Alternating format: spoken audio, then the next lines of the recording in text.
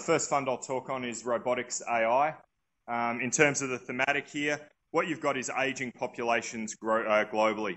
Uh, over the next couple of decades, the ratio of non-working people to working people is expected to double.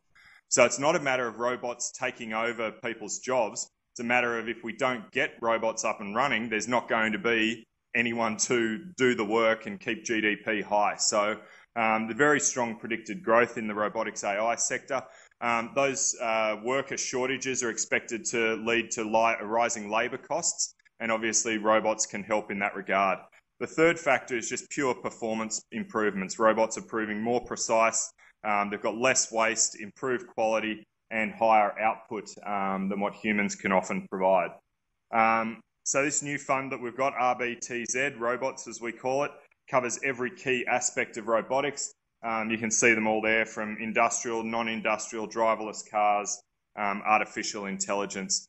So the uh, ticker itself, RBTZ, 57 basis points. Um, and uh, looking at a one-year forward PE here of about 20 times and one-year EPS growth of about 22 times. So fairly strong growth and not significantly pricier than uh, just the, the, the, broad market. Some of the key stocks you can see there, again, I'll leave you to look through those in your own time. And uh, the performance uh, is what it is, but you can see it there. Um, I've just got here, there is a, another robotics exposure available in the market. I think it's important to touch on the, the key differences there. RBTZ is 25 basis points cheaper. Um, the other key difference is the number of holdings. RBTZ is significantly more concentrated with 36 holdings relative to 87. So some people might look at that and say, well, I'm giving up stock diversification in RBTZ relative to the uh, alternative, and that would be correct. But those other 50 odd stocks would not pass the RBTZ filter because their proportion of their revenue that's exposed to robotics is so small. So we would argue that by having those extra stocks, you're actually diluting your exposure to the robotics thematic. Um, and we think if you're going to play in a thematic space, you want to actually have maximum exposure to that thematic. The other key difference is RBTZ is market cap weighted. Uh, the alternative is equal weighted.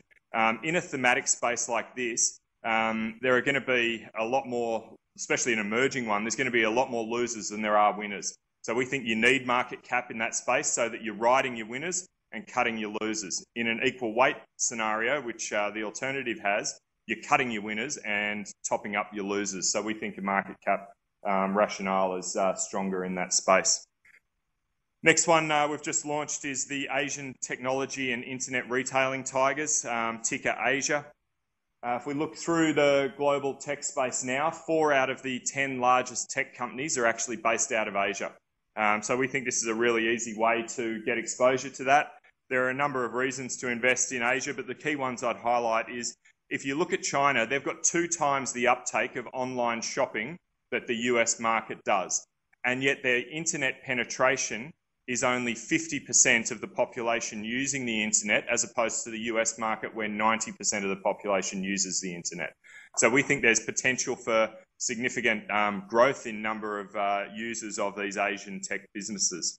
Um, from a diversification point of view, it has very low correlation to NASDAQ and US technology. So you're not doubling up on exposures that, uh, that you might um, hold through those sorts of uh, things. And looking at the PEs again, um, you're looking at a PE on this sort of exposure one year forward of 10.8 times. Um, that's not far off an emerging markets PE, um, but you're getting 22 times EPS growth on a one year forward basis for some of the biggest tech companies in the world. Um, ticker there, Asia, um, as I said, fees 67 basis points, and you can see some of the companies there. You can run through the details of those in your own time as well. Uh, same with performance.